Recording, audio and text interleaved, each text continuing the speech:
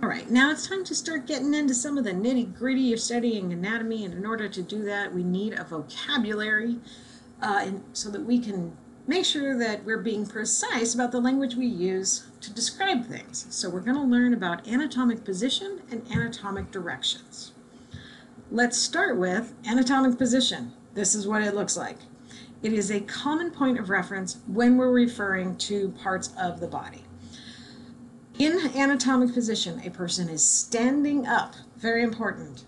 Always make sure you include standing, not lying down, standing. Facing forward, feet together, straight ahead and parallel, head forward, arms down at the sides. Make sure that you don't think the arms are up parallel to the floor. They're down at the sides. And the palms are facing forward. So the other thing about anatomic direction is that this is not the natural way you stand, okay? This, but this is how we are going to describe parts of the body. So the palms are facing forward, the thumbs are, pace, are, are lateral, meaning that they are away from the midline of the body. And that's another term we're going to learn in just a minute. All right, so now before we get there, we need to talk about planes of the body, which are imaginary slices we can divide the body along. This is going to help us describe where things are in relation to each other. We can also talk about sections. So if we take a, a cut, for example, or an imaginary cut of a, a slice out of you along a plane, that would be a section. So the first uh, plane that we're going to learn is called the coronal or the frontal plane. Uh, I prefer coronal, but you do need to know both of these names, coronal and frontal.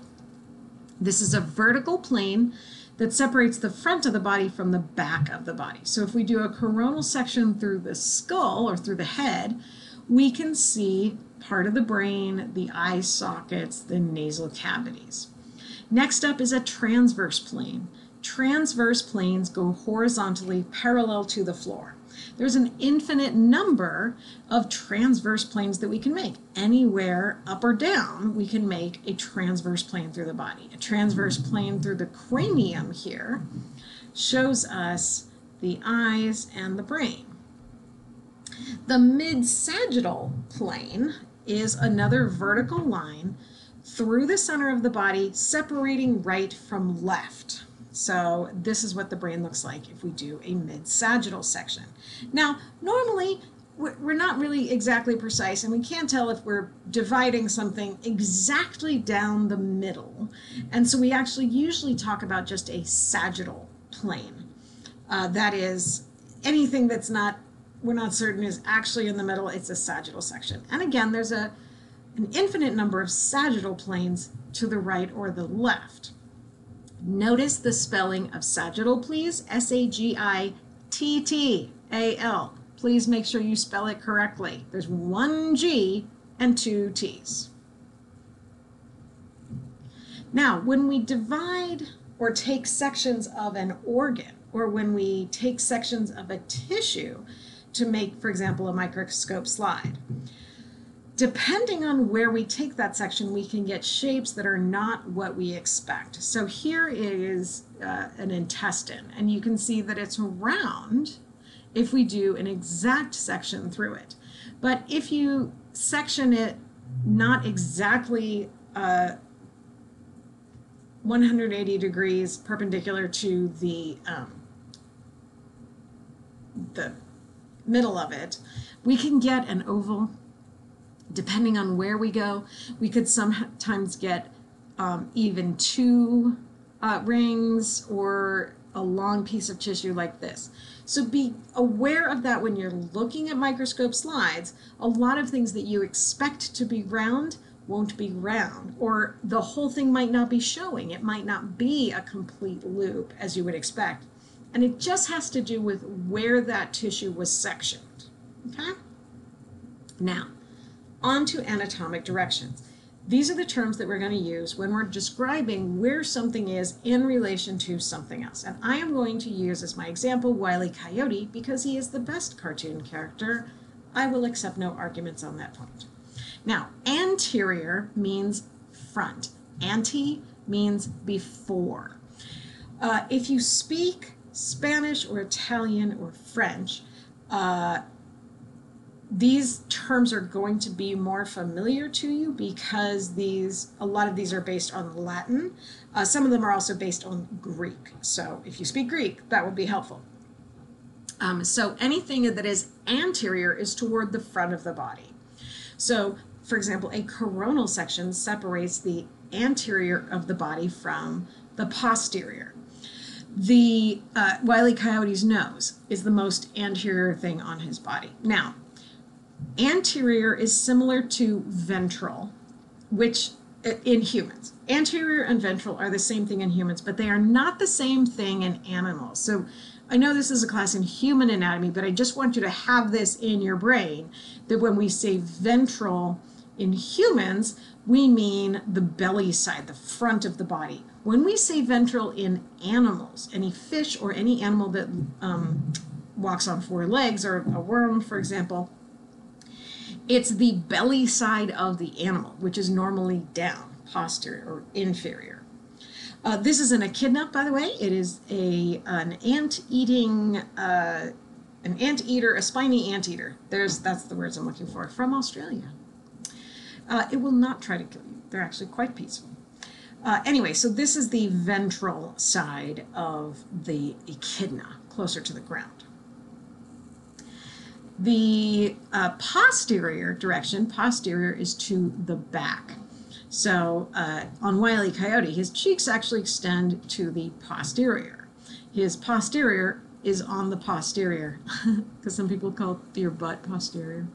Anyway, dorsal uh, is the backside of the body, uh, and uh, in humans, posterior is dorsal. Again, not the same in animals. I cannot remember the difference between ventral and dorsal. I can't remember which one is which, so I always think of the scary dorsal fin on a shark, and then I have to go, okay, dorsal's on the back, ventral's on the front. Hopefully, you won't need that, but if you do, there you go, dorsal, back. Humans, it's the back. Uh, animals, it's the, uh, the top side. Okay, superior means above. So in humans, we are talking about something that's closer to the head or on the head, the top of the head. Uh, Wiley Coyote's eyes are superior to his cheeks, meaning they are above. The echidna's spines are superior to its paws. Okay, on the echidna, the dorsal side is superior. On the Wiley Coyote, the dorsal side is posterior. See how you can use these together? Inferior means below. And in humans, this means closer to the feet. Wiley Coyote's cheeks are inferior to his eyes. His eyes are inferior to his ears. Um, so now notice that when we're using these terms, they are relative terms. We can't say the eyes are superior because they're not superior to everything. The eyes are superior to the mouth, but the eyes are inferior to the ears. Okay, so remember that these terms are relative. We're talking about something relative to something else. We could talk about the superior end of something, uh, but we can't talk about something just being superior. All right, now Cranial means toward the head. The top of the head is called the cranium. So cranial means toward the head. Uh, Wiley coyotes are cranial to his shoulders, closer to the head. They're literally, well, on the head. The opposite of that is caudal, which means at the tail end. Now, cranial and caudal are really useful in, again, quadruped animals because cranial is anterior and caudal is posterior. But in humans and Wiley Coyote, the tail is in the middle of the body. Then you got these legs sticking down. So in humans, we use superior and inferior. They're more precise than cranial or caudal, but you will see cranial and caudal used. So make sure you know what they mean. Now, medial means toward the midline of the body or toward the mid sagittal plane, closer to the center of the body. Wiley Coyote's chest hair tuft right here is medial on his body. So it's the most medial thing on his body. Uh, his nose is the most medial thing on his body. Uh, his heels, when he's standing like this, are medial to his toes. Now, lateral means away from the midline, so farther to the side, okay? Um, now, don't say farther out, because what do you mean? Do you mean farther out to the side? Do you mean farther out to the top? Do you mean farther out to the bottom? It's not specific. And we need to be very, very specific when we're talking about anatomical terms. Think of uh, what would happen if uh, in a medical uh, situation someone used an imprecise term uh, you really need to know exactly where on a patient you're talking about when you're talking about things. So, medial and lateral, again, refer to positions on the body in relation to other things. So, the coyote's nose is medial to his cheeks. Okay? The eyes are medial to the cheeks, but the eyes are lateral to the nose. Okay? See that? Now, we have these other two terms that I just love. Ipsilateral means on the same side. Ipsi means same. And contralateral means on the opposite side. Contra is different. So your right hand and right foot are ipsilateral, your right hand and left foot are contralateral. The hemispheres of your brain control the muscles on the contralateral side of your body which means that the right side of your brain controls the left side of your body. We don't use ipsilateral very often, contralateral is more common.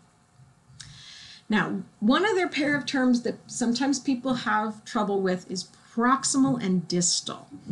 Proximal refers to closer to the point of origin of the body part. So the elbow is proximal to the fist, meaning it's closer to the point of origin, which is here. Okay, the arm originates here and goes down. The legs originate here and go down. The bicep is at the proximal end of the arm. Okay? The elbow, however, is distal to the bicep, and the fist is distal to the elbow. Okay, so proximal means closer to the point of origin. Distal means farther away. Now, we normally talk about the proximal end of something or the distal end of something, okay? Um, but we will talk about terms in relation to each other as one thing being proximal to something else, meaning closer to the point of origin. Um, now, these are not used when referring to parts of the head or trunk. Okay, the trunk doesn't have a proximal and distal end. It is the point of origin of the arms and legs. You could talk about the proximal end of the tail, the distal end of the tail. Okay, you can't talk about the proximal and distal ends of the head because the head doesn't really have an origin. It's it's it's the head. Okay, it's it's a thing. We will talk as we get uh, later into the semester about proximal and distal ends of organs. For example, your small intestine, the proximal end is where it meets the stomach, the distal end is where it meets the large intestine. Okay, so that's proximal and distal. Superficial means closer to the outside. Uh, deep means more inside. So imagine that you took this obviously perfectly anatomically correct gummy bear model. Yes, your gummy bears do have organ systems inside. Of course, I'm kidding, but isn't this cool? Uh, so imagine that you took this. The superficial layer is the plastic skin. You could take that superficial layer off and touch the deeper layers, which would be, in this case, the bones. You could then take those layers off and get to the layers that were deeper than those. So the skin is superficial to the skull, the skull is superficial to the brain. Okay? But the skull is deep to the skin. So this again, we have relative terms talking about relative to something else. The sternum of the gummy bear, that's that bone right there, is deep to the skin, but superficial to the heart. And yes, the gummy bear, of course, has a heart. It's a gummy bear. Of course it does. So, to review, anterior is to the front, posterior is to the back, superior to the top, inferior to the bottom, medial toward the midline, lateral away from the midline, proximal at the closer to the point of origin, distal farther away from the point of origin. Okay, so we're going to have a worksheet uh, and we're going to have a uh, quiz, a practice quiz for you to practice these. Uh, and then I, I also want you to uh, participate in a discussion about these. So get used to these anatomic directions, use them all the time, practice them with other people. We're going to use them a lot.